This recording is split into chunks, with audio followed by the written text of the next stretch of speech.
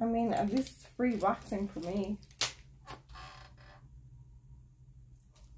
Look how red my leg is from the wax.